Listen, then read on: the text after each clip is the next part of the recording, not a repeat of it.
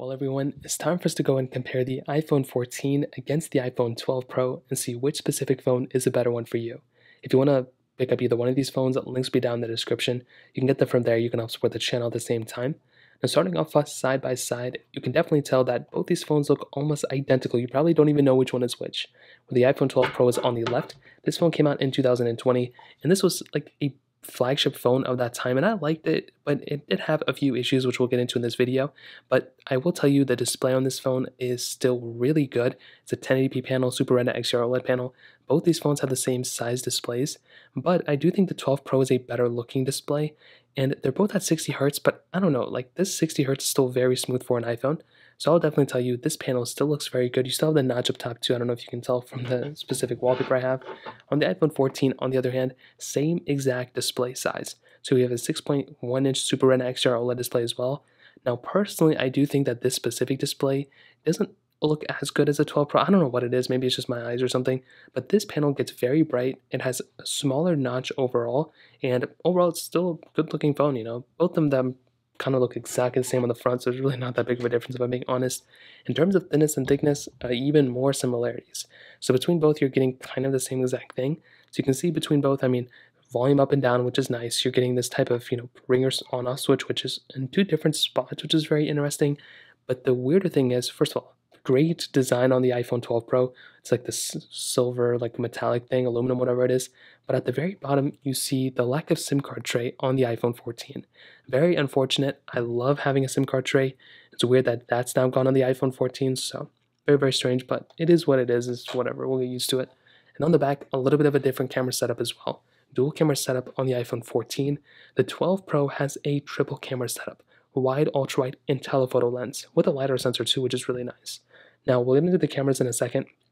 Another big difference is with the glass backs. So we're getting the standard glass back on the iPhone 12, 14. This looks so much like my iPhone 12. On the back of the iPhone 14 standard glass back, the 12 Pro has this frosted glass back, which when I tell you it's a pretty big difference, I love this feeling. The 12 Pro still feels like a $1,000 phone.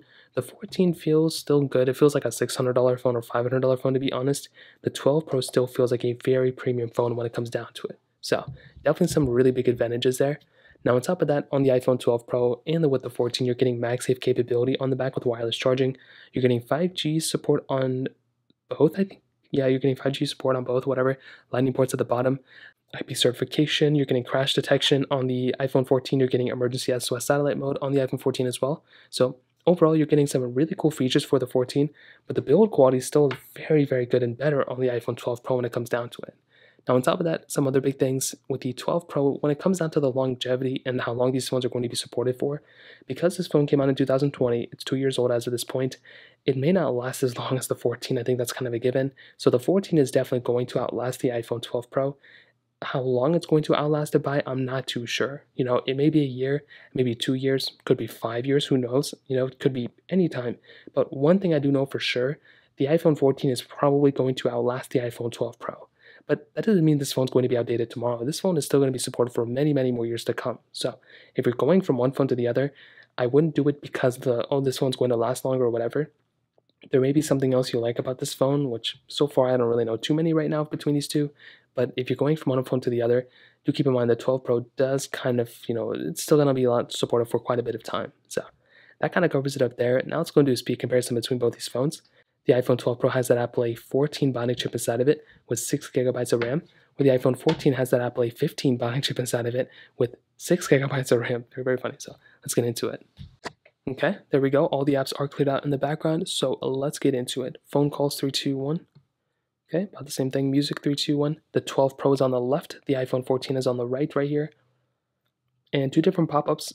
This is the first time I've seen this pop up on this. I don't know why we even got into there. And let's go and hop out of this one. Let's do podcast 321.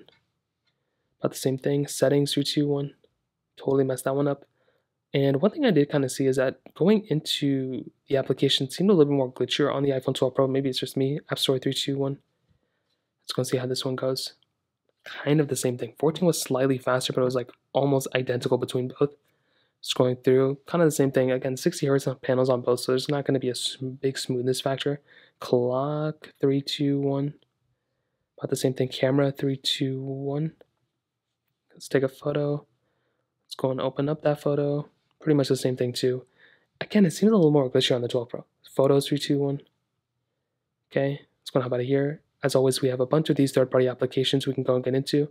And I don't even know where these apps are. Okay, so let's do Temple Run 2, 3, 2, 1.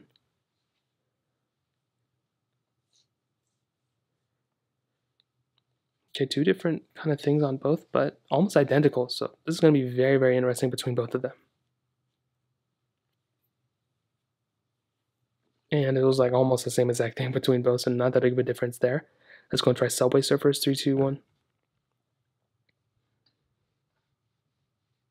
Okay, 12 Pro was a little bit slower here by quite a bit. Not quite a bit, I mean, it's not like the biggest difference ever, but it is one of those things. Now let's go and get into this game, see if there's a difference. And I don't think there's going to be that big of a difference. Funny, we have the exact same tutorial on both. Whatever. Pretty much the same type of gameplay, I would assume, for this type of game. I do wish I had Genshin Impact, which I do not have, which is unfortunate. Let's do Spotify 321. Okay, let's go and hop out of here. Let's go and do Snapchat 321. 12 Pro was actually a little bit faster there. Very, very funny. Files 321. Okay, about the same thing. Shortcuts 321. Okay, and I think honestly, when it kind of comes up to it, I think the 14 is probably going to be more times than not the faster one, but it's only going to happen if you're kind of like one thing I'm noticing is like the glitchiness sometimes if I'm hopping out of an application of the 12 Pro.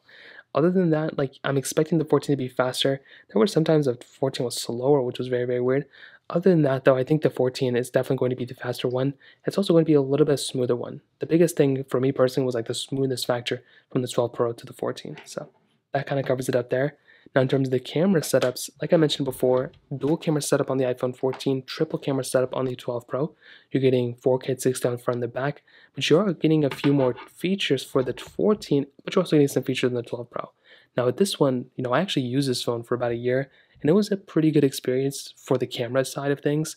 You have that, you know, 10x zoom zooming in, you have that 0.5x zoom zooming out. You still have things like portrait mode and standard video mode, and overall, it's a pretty good camera. Is it perfect? I mean, for that time, it wasn't really that bad. Like, the only thing it's missing now are the modes that the 14 has. But other than that, this is still a pretty good camera. You can get some really good photos from it. And I've taken some really good photos on this specific camera other than those ones. And also tell you, yeah, for sure, this is still a very solid camera for sure.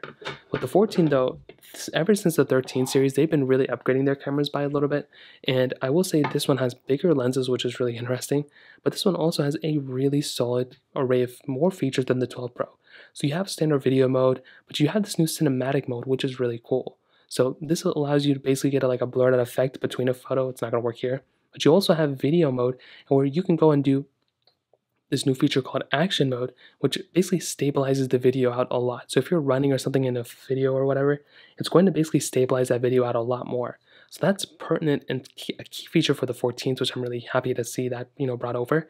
And you still have things like portrait mode, panorama mode, and all that other stuff. But I think when it comes down to it, the 14 definitely by far has a better camera than the 12 Pro, but the 12 Pro still has a very, very good camera as well. So now to kind of sum up this video, I will tell you in my opinion, the 14 is the better phone here. It's a, I would say it's probably a little bit better, but if the 14 was a 10 out of 10, the 12 Pro is probably like a 9 out of 10 if I'm being honest. Like there's a few things like the battery health degradation on the 12 Pros.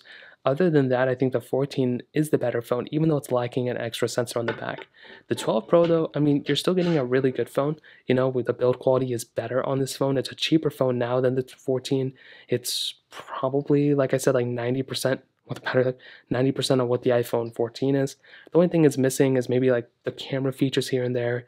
It's a little bit of a less smooth device, but it's still a very smooth device too. It's not going to last as long as the 14, and maybe performance is better on the 14, but other than that, and battery life is going to be better on the 14. But other than that, I think the 12 Pro is still a very, very good phone when it comes down to it. So that kind of covers it up. If you have any other thoughts or questions, let me know in the comment section below. Hit the like button, that would mean so much, but definitely hit that subscribe button. More importantly than everything else, I love every single one of you guys. Hopefully I'll catch you guys in the next video. Peace out till then.